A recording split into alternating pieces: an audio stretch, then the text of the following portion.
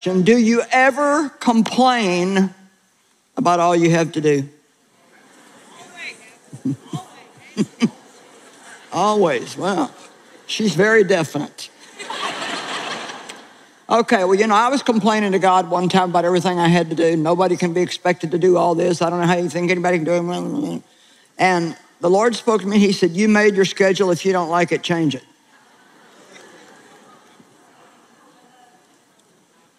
So we'll just kind of start with that. You're the one that has said yes to all the things you do.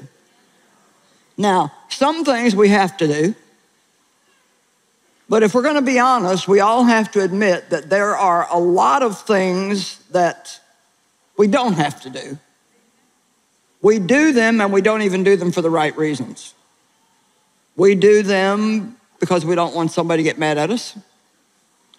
We do them because we're nosy and we don't want everybody else to go and us not know what's going on. Amen. We just do them because we've always done them. We don't even know why we're doing it anymore. It's just, well, I don't know. It's just what we do.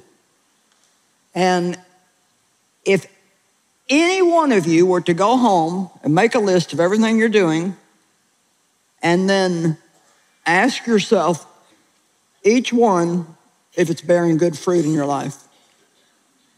And if you'd cut out the ones that aren't bearing any fruit, you'd have plenty of time left. Hmm. You're looking at me like, no, couldn't be that easy. So, stress is the, the disease of the century. It's a multi billion dollar business between counseling, drugs, books, stress management seminars, and more. Stress is making more money than anything else. And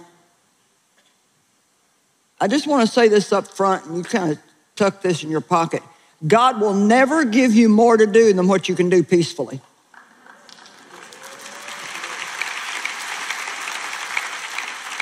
So remember that. If you're, if you, what all you're doing is stealing your peace, then it's not God giving it to you. And I, I know what I'm talking about because I almost killed myself trying to do what I thought God wanted me to do and found out that there was a lot of reasons why I was doing it that really weren't all reasons why I should have been doing it. Stress is all around us. And I kept praying for the stressful things to go away, for the problems to go away. And I finally realized, you know what? What we need to do is access the peace that God's already given us. Actually, Jesus has already done every single thing that he needs to do for us to have peaceful, fruitful, wonderful lives. He has. All we need to do is read the book and do what the book says. So if you stick with God and you stick with the word, what does the Bible say in 2 Corinthians 3:18?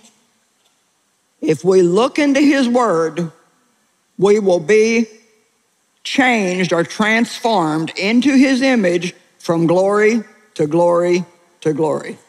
So if you haven't made it all the way there yet, don't be upset with yourself. Just keep growing. That's all. God's not mad if you haven't arrived. He just wants you to keep going and keep growing.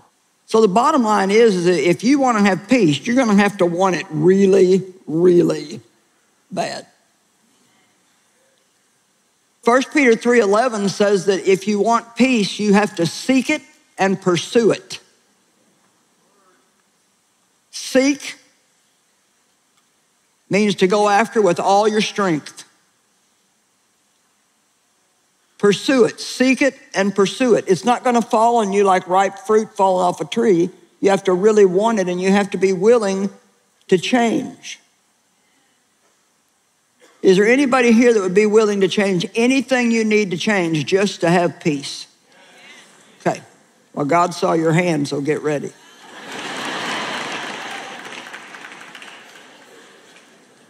But I love what it says in the Amplified Bible in 1 Peter 3:11. It says that if you want to enjoy life and have good days, good whether apparent or not, turn from evil and do good, seek peace.